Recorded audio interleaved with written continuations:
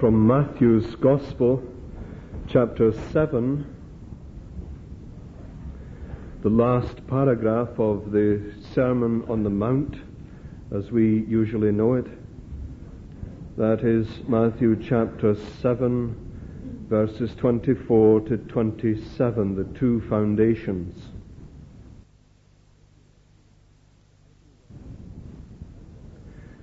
Everyone then who hears these words of mine and does them will be like a wise man who built his house upon the rock. And the rain fell, the floods came, and the winds blew and beat upon that house, but it did not fall, because it had been founded on the rock. And everyone who hears these words of mine and does not do them will be like a foolish man who built his house upon the sand, and the rain fell, and the floods came, and the winds blew and beat against that house, and it fell.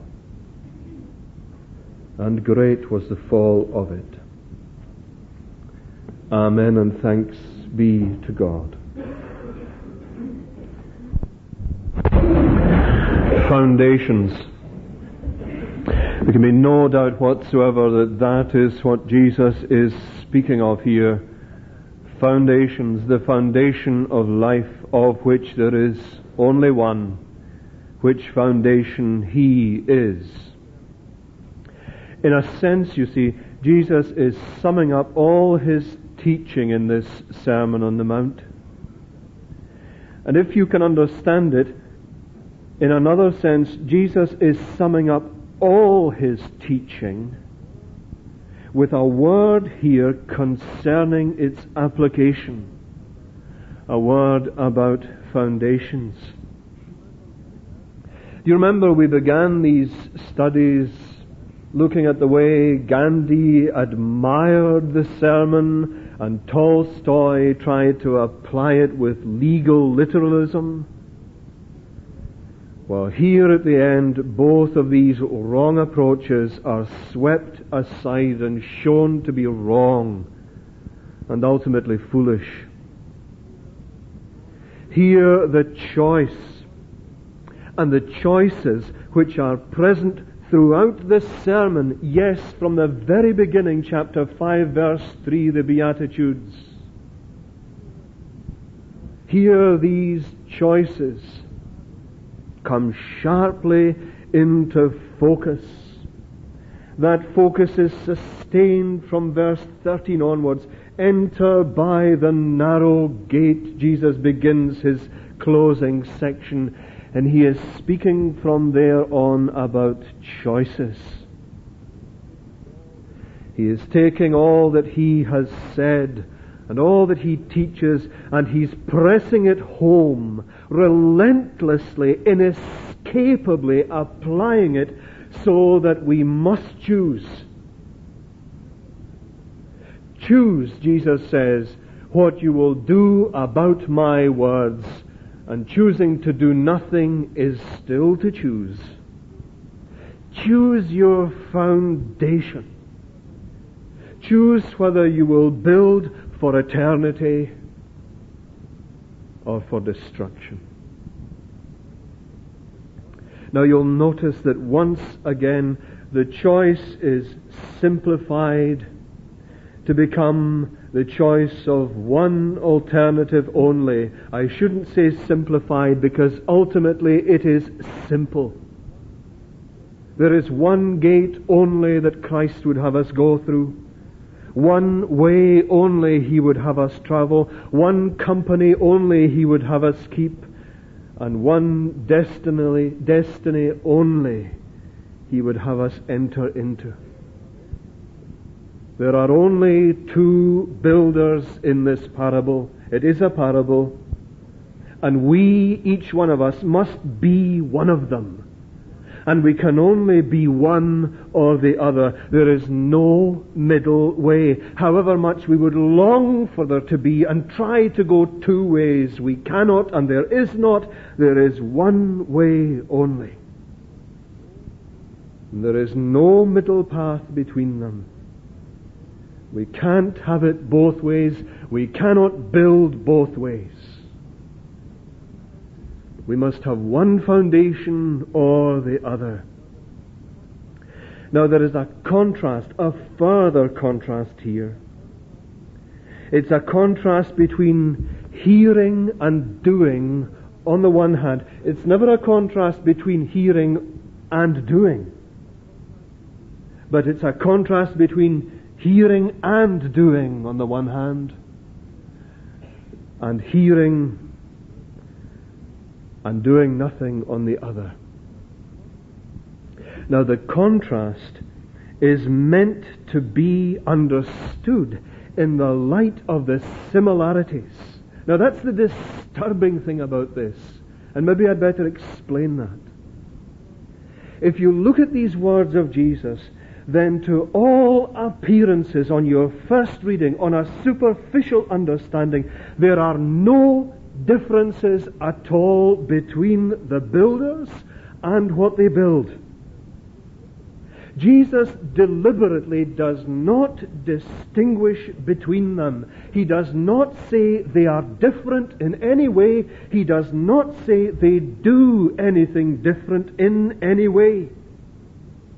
The difference between them is totally invisible and is not seen until what they built is tested by the storm. Both are builders both do build. Both build houses. Both build at the same time, the parable suggests building in the good dry season. But the difference is not in the walls or the windows or the roof or the chimney or anything else. The difference, according to Jesus, is only in that which is not seen, in the foundation. And only the storm could make apparent what was not apparent. Only the storm made visible what was invisible. It was the unseen foundation alone that made the life and death difference. It is as simple as that. Now, all human beings are builders. We are all seekers. And we are all builders, the Sermon on the Mount tells us. We live to build. Everything we learn, everything we do, everything we experience in life is built into the person we become as we go on. Whatever that be, and whatever we make of life, we are building as long as we are living. Some people build on achievement. Some build with their creativity, some build with their intellectual ability, some build with the skills of their hands and minds, some build in terms of relationships and family. We all mix these things together, but we all build. To live as a human being is to build a life and to build a character. But the whole process and the whole substance never has its never has its, its material in the things of life. It's not found, the substance is not found in our achievements or our possessions. The substance of our building is in what we are. Now, essentially, what we are is what we are spiritually. Jesus is now facing that question of the essence of what we are or are not. He is indicating that to build there is only one foundation that will last. There is only one foundational rock, which is Himself and His Word. And we'll come to that in a moment. But in terms of His Word, there were and there still are builders who look alike. They seem to be building the same thing, but they are totally different. They are different only in that one has no foundation whatsoever. He has no rock underneath what is being built. And again, only the storm will show which is which. The same goes for the two kinds of hearers of Jesus' words. Now here there is a strong connection with the previous verses. You know, those who come to the Lord saying to Him on the last day, Lord, Lord, we did this and that and the other in your name. We did all these mighty works. But Jesus never knew them. There are also, says Jesus here, two kinds of hearers. They look the same. They both, Jesus says, hear these words of mine. They may be people who read their Bible, who listen to faithful preaching. They may be people who go on to read Christian books. Their houses, in that sense, what they are building, appear to be the same. They are both builders. Perhaps even they both make room in their lives for Christian things. They may well both attend church faithfully, have Christian friends, may even be involved in Christian activities. Lord, we did this and the other in your name. but they are not building upon a sure foundation. The difference will be seen, says Jesus, when the storm comes, because the difference is in the foundation. One just began to build, but never dug down to foundational rock. The other did the unseen and unspectacular yet essential thing first the other dug down through the rubble and the rubbish until he hit the rock, the bedrock, which God has supplied. Now, I say that because, you know, if you were to turn to Luke's account of this teaching of Jesus, Luke includes the words that he dug deep. Luke 6 and 48 it is. The one with the foundation dug deep. Now, what exactly does this mean? Can we be clear about this? Can we be sure today about what Jesus is saying? Well, yes, we most definitely can be sure. God is described in His Word as our rock. We sang of it in our opening psalm this morning. But over and over again, not only in the Psalms, but in Isaiah and into the New Testament, God is described as the rock of His people. And Christ is described, both promised in the Old Testament and realized in the New, described as the rock of God, the foundational stone, the cornerstone, the rock. He describes himself as the rock because it's not Peter he is speaking to when he says, You are Peter, and on this rock will I build this church. He is saying to him, Surely, you are Peter, but on this rock I will build my church. Because doesn't First Corinthians tell us that there is no other foundation which can be laid than that which God has laid, which is Jesus Christ? Oh yes, you can be sure what the rock is these words of mine, the teaching of Christ and Christ Himself in His teaching, that is the rock and the only foundation of life. And you know, there are times when we do need to dig down to the rock. Before we begin the work of building our Christian lives, we need to get down to fundamentals. We need to find the foundation of our forgiveness and peace with God through Jesus Christ. But digging deep is not a very popular pastime. It's not popular because it's not visible, because it's not seen, because it's not spectacular, because nobody goes, wow, what a Christian that is. I started my ministry here amongst you speaking about two things and promised to hold to them. One was this centrality of the cross. And the other was taken from Nehemiah chapter 6, and it was to do with the foundation of the bedrock of Zion, which is Jesus Christ. Do you remember Nehemiah chapter 6? We all need to do that, though. Not just together, but individually, we need to go down until we're sure we are building our Christian lives upon the rock of Christ and what He has done for us. Digging down is essential. Searching the Scripture, our hours of prayer, our calling upon the name of God and asking for the assurance that our repentance and faith in Christ is true and real. Ask, and it will be given you. This is digging deep. Not blithely and lightly assuming that my feelings are evidence of a real repentance. That because I feel it, I really have faith in Christ. The trouble with feelings, the trouble with our feelings is that they change, that they come and they go and they waver. Digging deep is not being satisfied with being like other Christians or doing what they do or going where they go or conforming to their expectations of me, but of seeking God and His expectations and only being satisfied when I know I am in His will, whatever it be.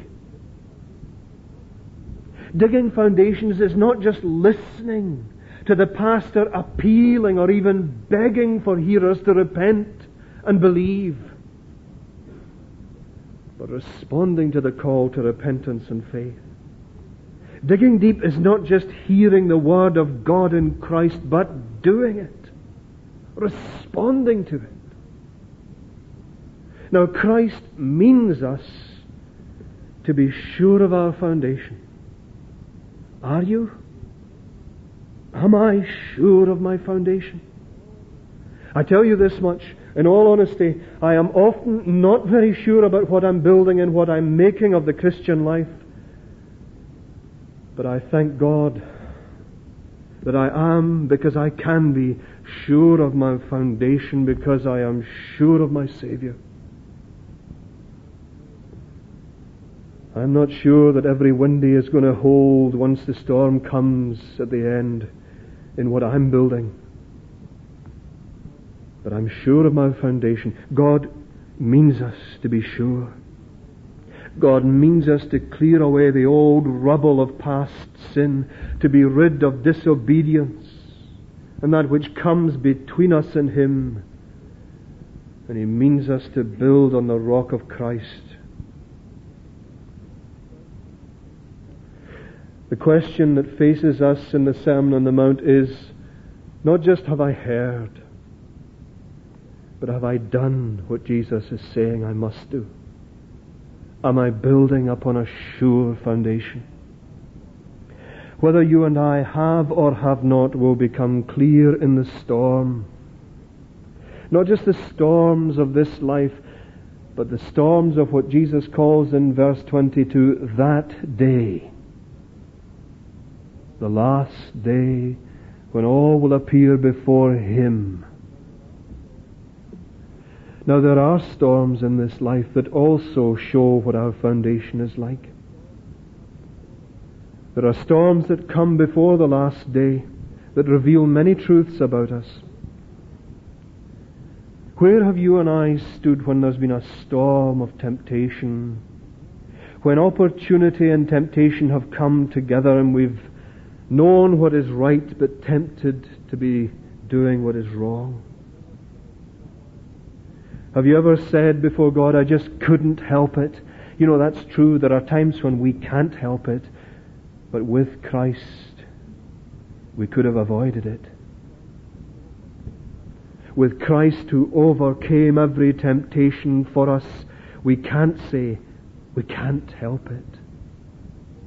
If we have Him, and if His Holy Spirit lives in our hearts and in our Christian lives, then we can overcome. In His victory, we can know victory.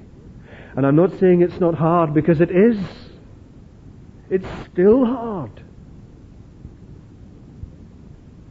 And those who don't give in at the first temptation know better than those who do how hard it can be. C.S. Lewis speaks about those who know the strength of the wind are not those who fall down flat as soon as it blows, but those who lean forward and step on. Storms of temptation can reveal our foundation. So can storms of tribulation. Do you use the words, I just can't cope? I just can't bear this. I can't go on. And there can be times when it's true, you just can't go on. You just cannot face anymore. But with Christ who faced it all for us and faces it with us, we can, you know. Those who have gone on with Christ in the face of daunting circumstances have lived to be surprised. Not so much at themselves, but at what Christ can do in themselves. And again, I'm not saying it's easy. I'm not saying that with Christ it all becomes plain sailing. That is just not a true testimony and it's not what the Bible teaches. It can be hard. It can be heart wearying. There can be times when it's sore and we feel scarred and wounded.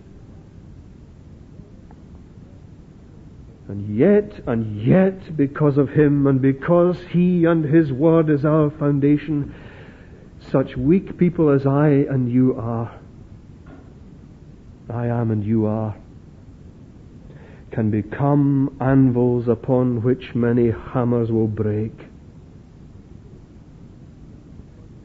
People who teach that Christians, because they are Christians, don't have to face storms are teaching nonsense. They are not teaching what the Bible teaches. Jesus warned us about tribulation. The Bible over and over again does, and there's not a single book in the Bible, Old or New Testament, that doesn't speak of trouble. You can face the storms of temptation and tribulation. There are others. There's the storms of loss and grief and pain, bereavement, loneliness, betrayal, there are the storms that come because of personal weaknesses. But whatever the rain and the flood and the winds should be, with Christ as our foundation, we shall stand. And having done all, stand. Not because of what we are, but because of what Christ is.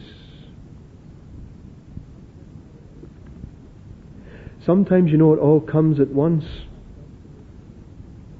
In fact, that's the way Jesus describes it. The wind and the rain and the floods rising all at once. So that we feel there's just no possible way to go on. But the storms will test our building. And they reveal what kind of foundation we have without Christ as foundation. Whatever we survive in this life, in the end it will be lost. Do you see that once again the essential thing is our relationship to Christ? Having Him as foundational to our lives is knowing Him, loving Him, obeying Him, our relationship to Christ is what matters. Now, people may look the same, and their lives may look the same. They may sound the same. Lord, Lord, did we not? Jesus' words here apply to those who do show some interest in Him and in His way. Jesus is not speaking here of the dogs and pigs of verse 6 who openly despise him and his word. He's speaking about those who do try to build something. But he is speaking of those whose foundation is just not there.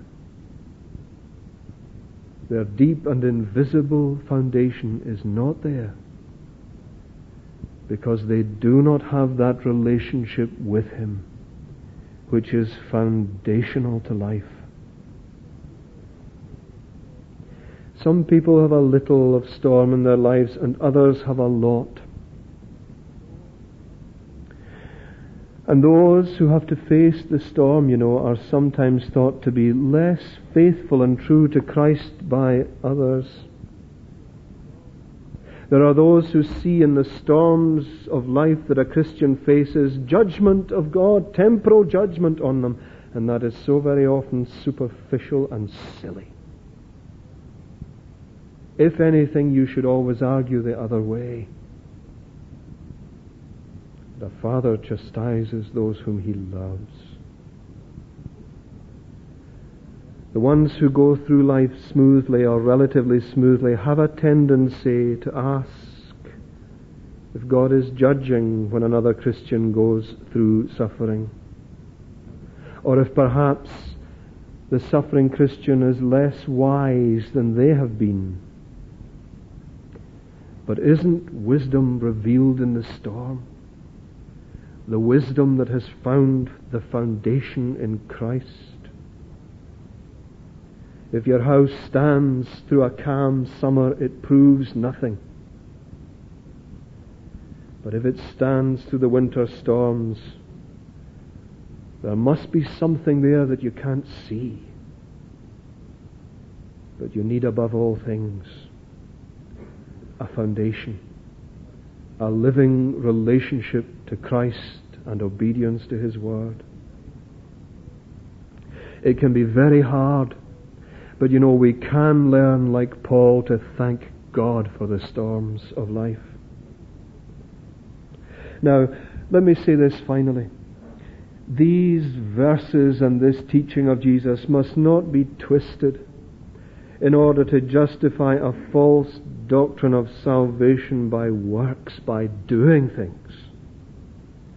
The opposite is Jesus' intention. He is making the houses sound exactly the same to point us away from what we do to the foundation upon which we are doing it.